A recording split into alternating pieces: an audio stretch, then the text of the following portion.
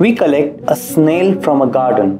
We see the rounded structure it carries on its back. This is called the shell and it is the outer skeleton of the snail, but it is not made up of bones. The shell is a single unit and does not help in moving from place to place. It has to be dragged along. Now we place the snail on a glass plate and watch it.